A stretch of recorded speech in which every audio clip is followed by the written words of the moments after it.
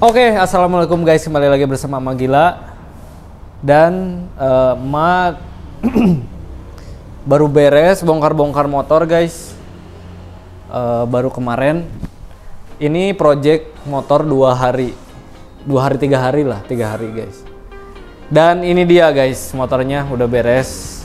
Tara, belum belum beres katang, seberapa persen ya? Ini baru 80% lah, 80%. Tinggal dikit-dikit lagi.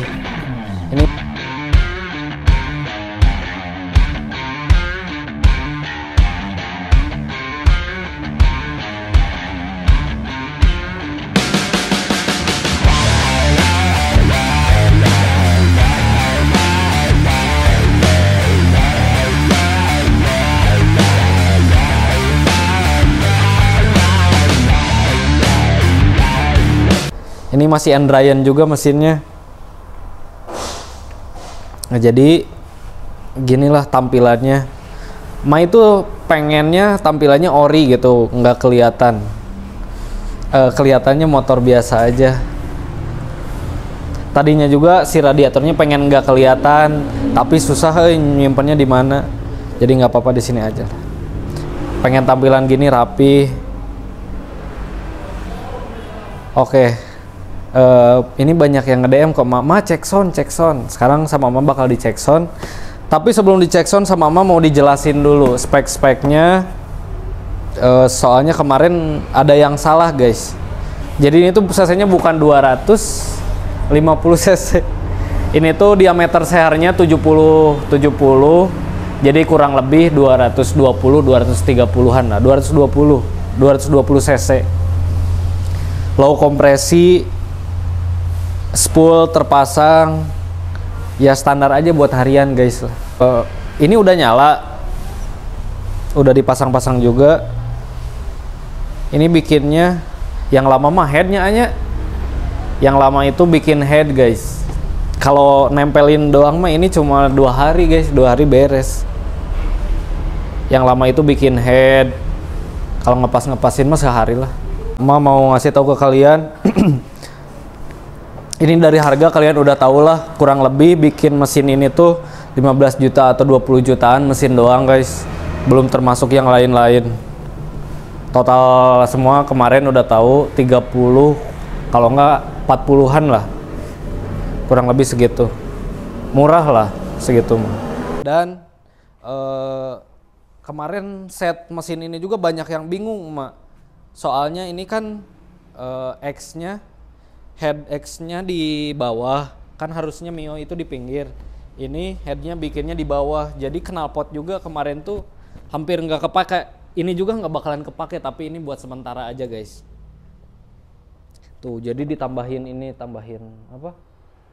Tambahin buat beloknya ke sini lah. Kemarin ada ada yang ngomen juga dia udah udah ngerti mesin kayaknya. Ma itu knalpotnya nggak bakalan kepake katanya. Sama armnya harus harus dipanjangin. Ini dipanjangin juga armnya. Eh, 5 cm nya armnya dipanjangin jadi 5 cm tuh. Jadi ini juga tuh mentok. Terus sobleker ini nggak kepake juga guys. Sobleker nggak kepake knalpot nggak kepake. Eh, harusnya soblekernya yang leb- agak lebih tinggi guys. Ukuran 3, 330 eh 230 oh iya 330 kalau Mio itu ukuran 300 nya nah nanti mah bekasnya bekasnya heung ke lah. Kayak di giveaway ke no barang-barang part-part nu teu kaparake na guys. Kemarin itu prosesnya ngedial sehari. Ini ada videonya nih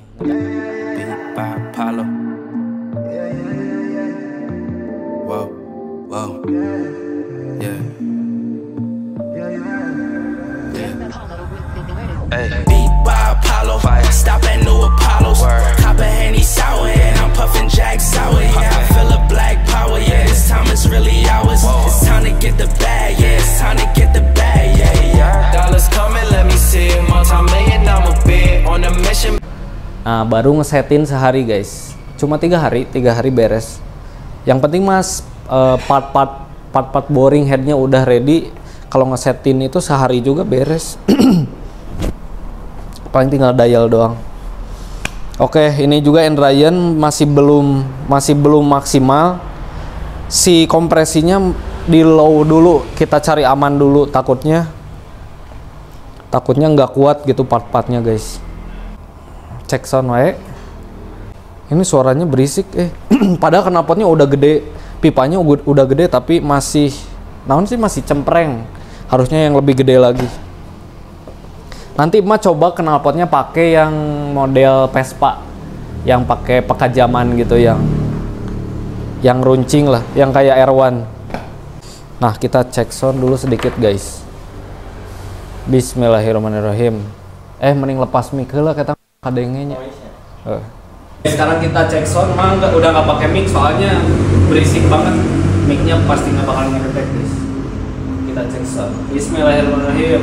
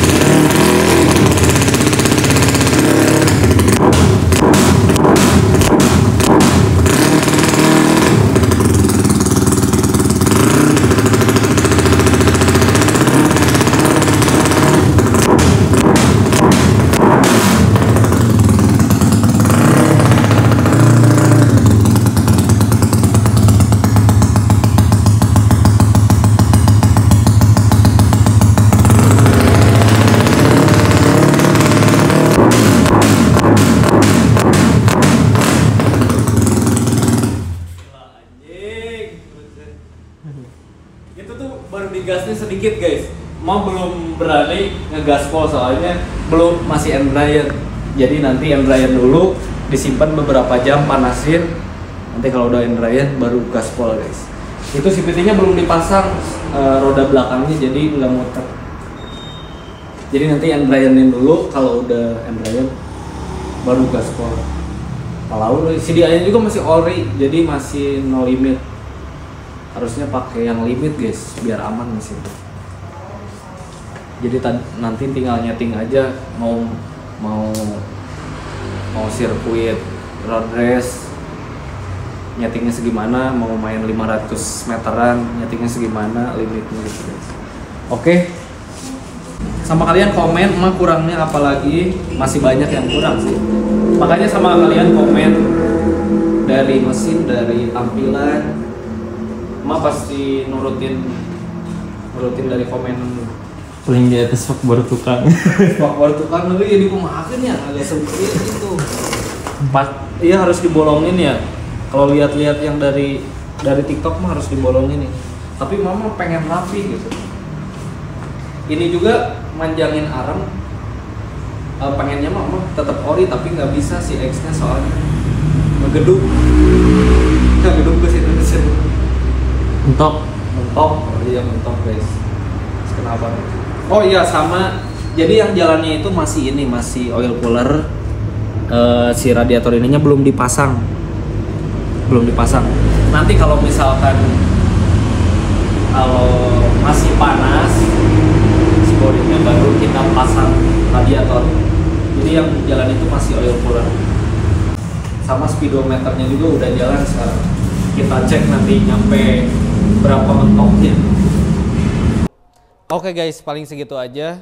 Eh, cek sound dari emak. Nanti kita tes di jalan dulu aja buat setting-setting guys. Kalau udah hand ya. Nah banyak yang nge-DM juga ke emak. Emak bikin mau bikin motor gini-gini gitu lah pokoknya. Banyak yang nge-DM langsung aja ke aku ya, langsung ke Pripater 93 Bandung. Instagramnya cek aja. Kalau mau bikin motor, kalau mau bore up, mau servis yang gitu-gitu ke aku ya aja guys. Kalau emak itu nggak bakalan dibaca soalnya nggak bakalan kebaca banyak soalnya yang nge-DM guys. Ini nanti kita cek di jalan, kita setting-setting. Jengat-jengat apa enggak guys? Nanti kalau udah benar-benar sempurna kita gaskan track 500 meter. Oke. Bye bye.